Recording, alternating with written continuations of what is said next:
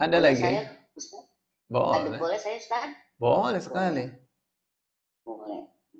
Assalamualaikum Ustaz. Waalaikumsalam warahmatullah. Nah, ini uh, kalau ridho Allah tuh kan ridho ridhonya orang tua ridhonya gimana ya ridho, ridho Allah ridhonya orang tua Ustaz. Kalau tapi kalau orang tuanya non Muslim itu masih ada ini juga ridhonya juga Ustaz. Ya. Terus Udah gampang ah, tuh. terus, Iya, harus dibikin Iya. ridho orang. tua. ah,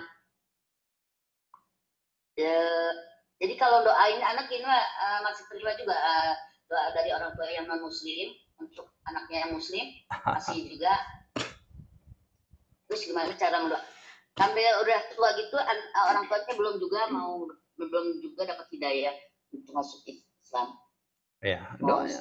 Ya, sambil diajak, diajak diskusi, sambil didoakan, sambil disayang. Jadi menyayangi orang tua itu hak dia. Entah dia kafir, entah dia beriman atau kafir. Hak dia untuk disayang orang tua itu. Ya. Maka eh, bahkan kalau bukan bukan sekedar kafir, sudah kafir nyu, ngajak untuk kafir. Itu juga tidak boleh marah. Ya. Wa in jahadaka ala an tusyrika bi ma laysa laka bihi ilmun fala tut'huma wa sahibuhuma fid dunya ma'rufa. Itu indahnya ajaran Islam. Apabila kedua orang tuamu itu memaksamu untuk menyekutukanku, satu hal yang kamu tidak tahu lah itu. Maksudnya tidak benar itu. Ya. Nggak ada ilmu kamu itu untuk menyekutukan Allah itu boleh. Itu maksudnya. Fala tuti'huma maka janganlah kamu mentaati kedua orang tua kamu itu. Sekedar jangan ditaati.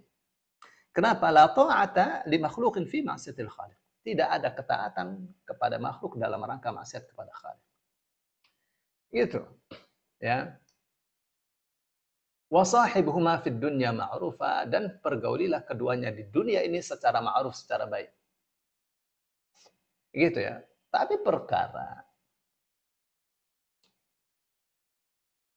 mendoakan orang tua, doakanlah orang tua. Mumpung masih hidup.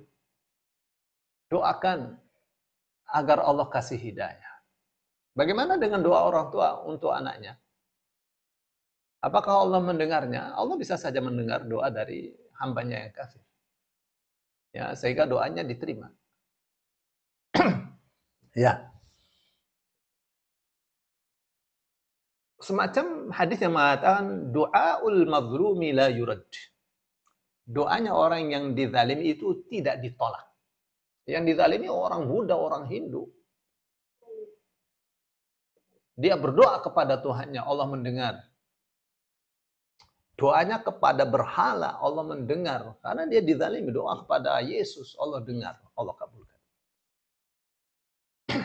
ya, karena dia dizalimi. Begitu ya? Ya, Ustaz. Assalamualaikum Ustaz.